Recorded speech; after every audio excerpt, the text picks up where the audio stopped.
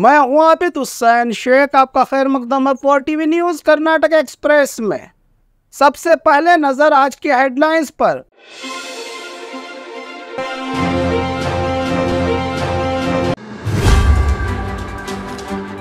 बाबा साहब अंबेडकर के जन्मदिन का जश्न, नेताओं ने सादा संविधान बदलने वालों पर निशाना।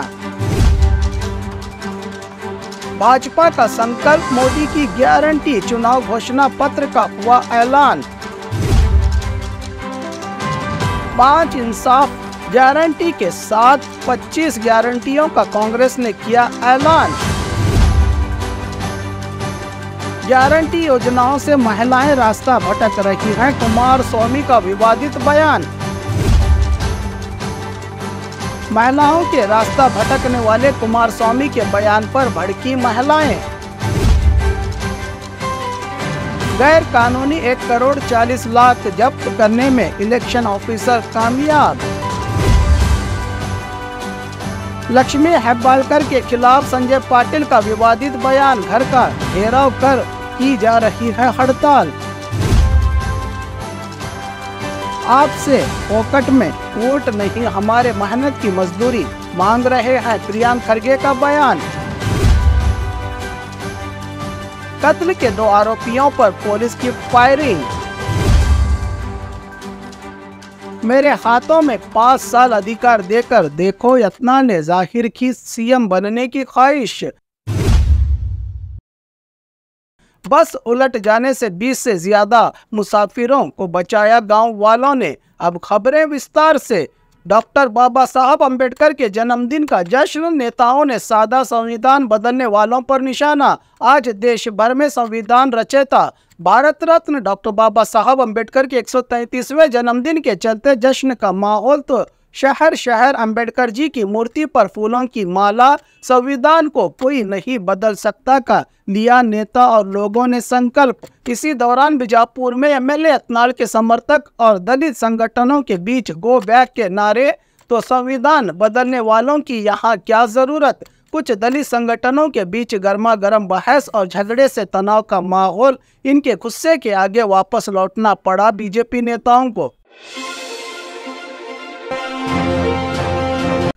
भाजपा का संकल्प मोदी की गारंटी, चुनाव घोषणा पत्र का बीजेपी ने किया ऐलान। लोकसभा चुनाव के लिए बीजेपी ने जारी किया भाजपा का संकल्प मोदी की गारंटियों का घोषणा पत्र। कांग्रेस के नक्शे कदम पर चलते हुए बीजेपी ने किए बड़े ऐलान तो फिर लगाया वादों का अंबार। किसी को चुनाव का हथियार बनाकर लड़ेगी अब बीजेपी। चुनाव मोदी की गारंटी के नाम से जारी घोषणा पत्र में 80 करोड़ देश के गरीब लोगों को पाँच साल तक मुफ़्त राशन, तीन करोड़ गरीबों के लिए नए घरों का निर्माण, महिला सुरक्षा और सशक्तिकरण। योजनाएँ तो मुद्रा स्कीम के तहत 20 लाख की तोसी के साथ स्ट्रीट वेंडर्स के लिए पचास हज़ार का कर्ज।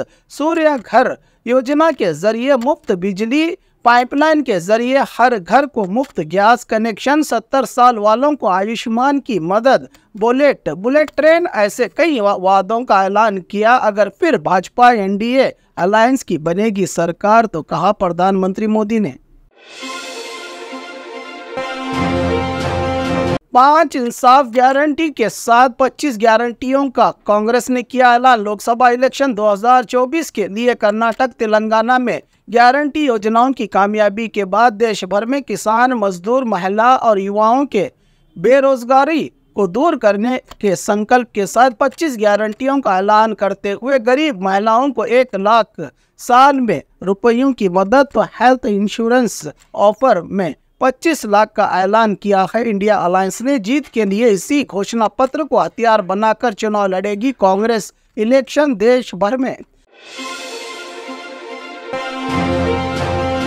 गारंटी योजनाओं से महिलाएँ रास्ता भटक रही हैं। कुमार स्वामी का विवादित बयान, कांग्रेस के पास गारंटी योजनाओं को छोड़कर दूसरा कोई मुद्दा नहीं है। इसी को प्रचार बनाकर चुनाव लड़ रही है कांग्रेस। इन गारंटी योजनाओं से खासकर ग्रामीण भाग की महिलाएँ रास्ता भटक रही हैं का गंभीर और विवादित बयान तुमकुरु में चुनाव प्रचार की रैली के दौरान दिया पूर्व सीएम कुमार स्वामी ने।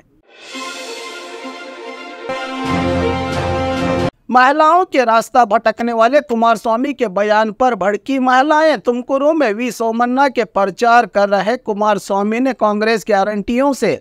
महिलाएँ, खासकर ग्रामीण प्रदेश की महिलाएँ, घर बैठे मिलने वाले आसानी से दो हज़ार रुपये और फ्री बस राशन से गुमराह हो रही हैं के बयान पर मंडिया के संजय सर्कल में महिलाओं ने पुराना मैसूर, बेंगलुरु हाईवे ब्लॉक करके गो बैक कुमार स्वामी के नारे लगाते हुए ये बयान राज्य की तमाम महिलाओं का अपमान है। शायद कुमार स्वामी के घर की महिलाएँ रास्ता भटक गई होंगी। कांग्रेस ने जो महिलाओं के लिए किया है, किसी ने नहीं किया। अधिकार में रहकर कुछ न करने वाले कुमार स्वामी को इन गारंटियों से जलन हो रही है। इससे महिलाएँ खुश हैं। इसीलिए बार बार गारंटी का ज़िक्र करके महिलाओं का अपमान कर रहे हैं, जिससे समाज को गलत संदेश जा रहा है, कुमार स्वामी की ओर से कहा प्रदर्शनकारियों ने। गैर कानूनी एक करोड़ चालीस लाख जब्त करने में इलेक्शन कमीशन ऑफिसर्स कामयाब।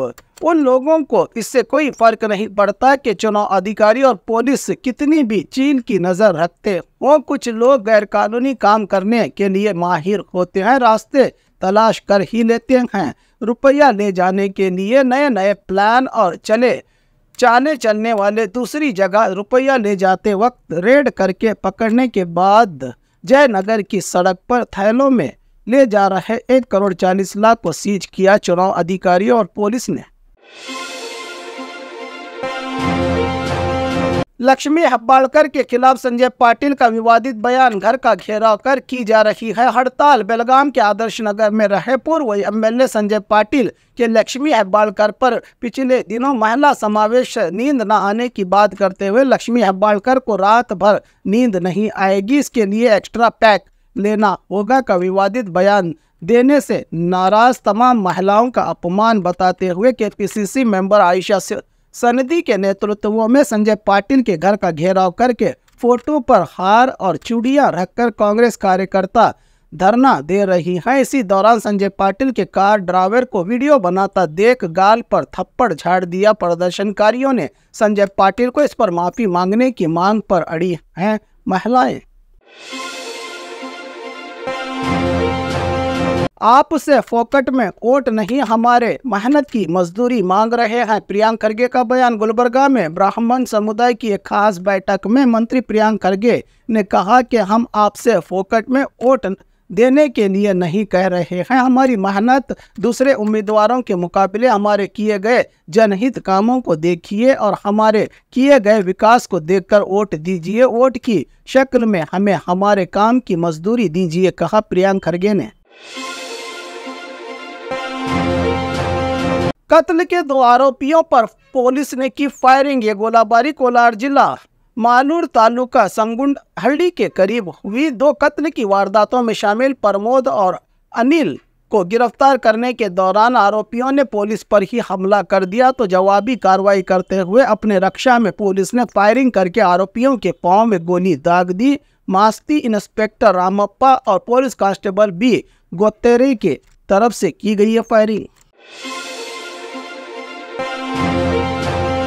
मेरे हाथों में पाँच साल अधिकार देकर देखो यत्ना ने ज़ाहिर की सीएम बनने की ख्वाहिश कांग्रेस सरकार जो दो हज़ार रुपये दे रही है, अगर मुझे सीएम बनाया गया तो पाँच हज़ार दूँगा। चुनाव के बाद तमाम कांग्रेसी, कांग्रेस की गारंटियाँ बंद हो जाएँगी। सरकार का खजाना खाली हो गया है। सरकार के पास तनख्वाह तनख्वाह देने के लिए भी पैसे नहीं। शिवानंद पाटिल के बयान पर भी पलटवार करते हुए निशाना साधा यत्नाल ने अपने साथ इलेक्शन लड़ने के चैलेंज पर चैलेंज किया यत्नाल ने।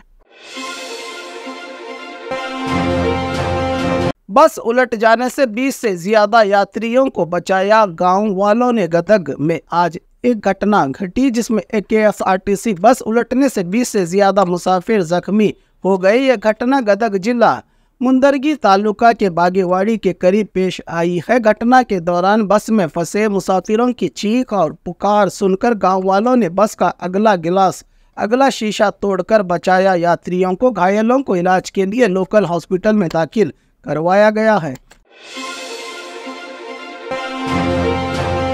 और खबरों के लिए देखते रहिए four TV news Karnataka express.